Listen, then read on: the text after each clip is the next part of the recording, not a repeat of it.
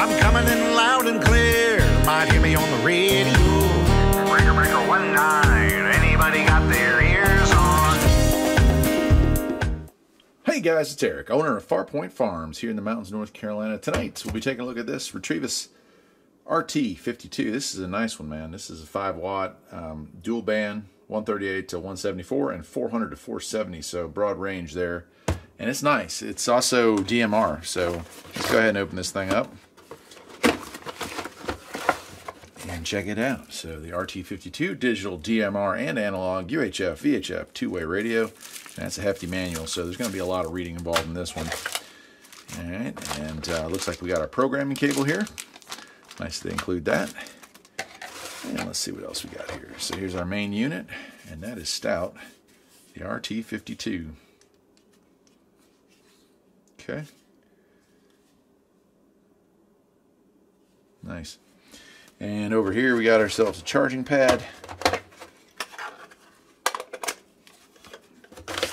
It looks like we got ourselves a hook on the back here. Oh, that's nice. Ah, so nice. so nice. It slides in. It's not uh, it's not the screw-in type. Those things can be tough to install. we have our antenna. Sometimes it's the little things, you know, folks. nice antenna, and then we got our charging cable here. Oops. Go ahead and undo that.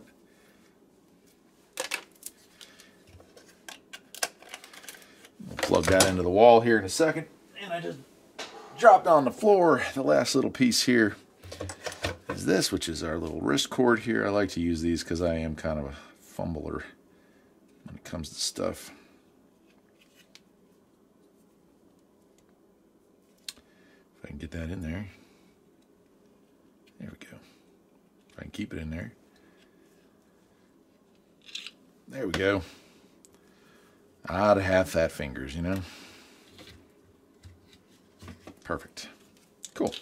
Well, let's go ahead. I'm going to uh, plug it in. We'll charge it up some, and we will check it out because it's a pretty sophisticated radio. I won't show you how to do programming, but I would imagine you use Chirp to program in the channels that you want. But it's great. You could use it as a scanner. You could use it as a uh, ham radio, obviously. A dual band ham radio. You could program uh, pretty much anything. You use it for law enforcement, for school, stuff like that. So this is a this is a pretty high end one. A lot of the ones I review from Retevis um, are you know just GMRS or just like business band radios, radios that you want to use out on the town uh, as a security or police or whatever. This one being uh, more ham, more ham orientated, I would say.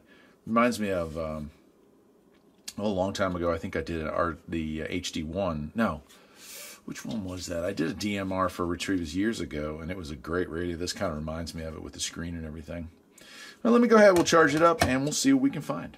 Nice full color screen. It's incredible, isn't it? Look at this. GPS activated, uh, battery state of charge, and we got our dual bands. And that interesting way of uh, digital mode versus analog mode. I like that.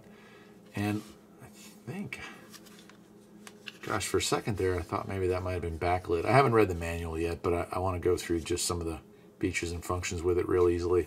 Here, of course, we have our. Uh, get my finger in there. There we go. There's our, uh, if you want to use a wireless mic and uh, speaker. And it's also our programming port, so it uses that standard setup. Oops, apparently I've pressed a button there. I shouldn't have. Channel change up here on top. You can see it rolling through some of the stations right there. I'm not sure what she's programmed for out of the factory, but you can see it rolling. And we have a lot of stuff going on in, the, uh, in there, but there's our volume on off. So I'll go ahead and shut it back off. We'll turn it back on. We'll go through some of these. I, like I said, I haven't gone through the menu yet, so there's a lot to learn on this.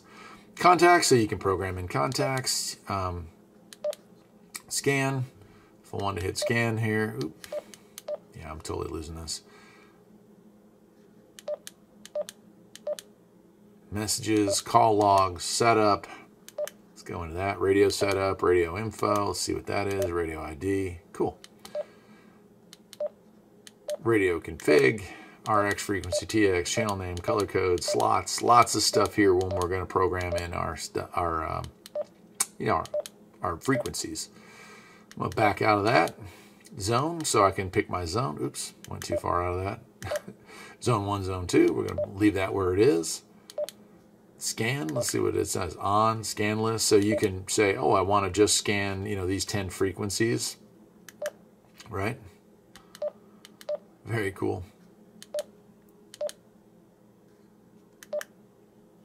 Very cool. So it's interesting to me is that um, when I had uh, the first DMR radio that I got from Retevis, um, I, I I loved that radio, and I found it to be way too hard for me to figure out how to use all the features and functions. And at that point, I hadn't discovered Chirp, and you can program these. And if put this on the stand here, you know, this manual, which is, I mean, real thick. is going to tell you how to program in channels. And I was able to program stuff. And then if it was an analog, I was able to program that. Um, and then eventually I was able to program uh, DMR channels in there and all the rest. But, you know, it's not easy. Even with a good keypad and a great color menu, it still can be a bit confusing for people of uh, my generation, let's put it that way. Younger crowd, they, they're more tech savvy. They got no problem with this sort of stuff. So I was having problems with it. And, um, and now you know, having downloaded Chirp software and just being able to update these things with a simple file, and you can have like every station on the East Coast. When it comes to DMR stuff, you can you literally talk all over the place with this stuff. It's really cool. And so that kind of made it a whole lot more fun for me to use. But as you can see, you can do text messaging here. You got inbox and outbox. You can record, it looks like. Call record. Hmm. Oh, call records. Okay, I was like, wow, we'll just have onboard, you know, SIM card, or not SIM card, but uh, mini SD card or something like that. All right, very very well done manual by the way. I mean, look at all this for each for each thing and its sub for each setting and its subsetting. It gives you an idea of exactly what's going on. You can have a picture. You can have a custom boot screen picture. That's awesome. Wow. This thing is really in depth. So, and then we talk, you know, a little bit less about overview, how to do single calling, how to do group calls, um, you know, how to save contacts. And what was cool is you can get a downloadable list for these that literally everybody's ham license goes right into it. So when you make a contact, like information comes up on that. Really neat stuff, man. So this will be something I'll be playing with, and I'll make some follow-up videos to this, obviously, as I get it programmed and as I get it figured out and uh, and get into it. But uh, I just wanted to share this whole thing with you. I mean, there's a lot going on here. Let's see how many pages this is here. 56 pages of, of content, all in English and all well-written English too. Um, I mean, that's pretty, that's pretty in-depth. A lot of warnings too about FCC rules. Hmm, that's interesting. Okay. Yeah, so a nice radio from Retevis. This is uh, this is a Kenwood killer, I would call it. Uh, Retevis actually, you know, and this is interesting, and I don't want to get too much into my life outside of this YouTube channel, but um, I work for a company that has a lot of radios, and a lot of the Retevis radios, a lot of the business band radios gets repurposed. We we use those, and um, we have Kenwood and Motorola radios as well. And what we're finding is for about a quarter of the price of a Kenwood or a Motorola, the Retevis radio just does the same thing uh, just as good for, you know, like I said, a quarter of the price. I think when it comes to ham radios, I'm a little less skilled. As uh, as some of you know, my license has expired, and it's been a while since I've played with this stuff, other than on the listening side of things. So technology like DMR is mystifying and new to us old timers.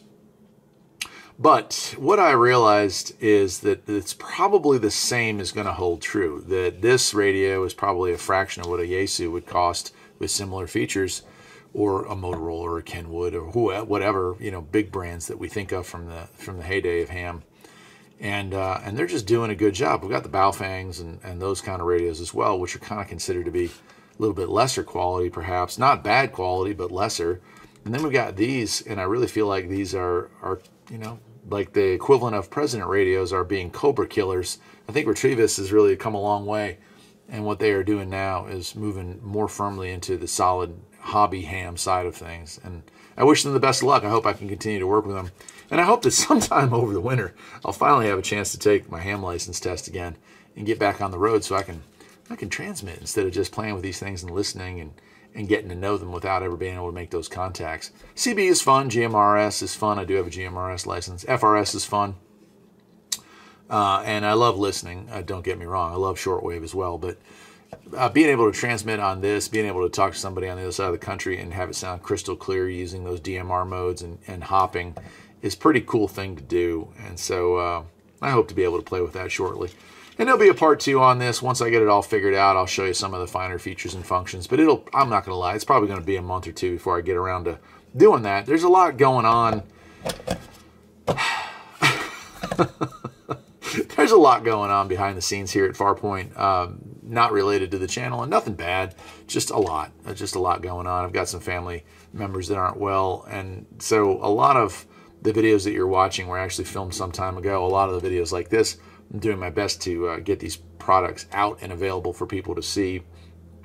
And, uh, and I just don't have the time to play with them once I get done making these really cool reviews. But hopefully, hopefully after the beginning of a new year, things will get somewhat more back to normal. Until next time, my friends, take care.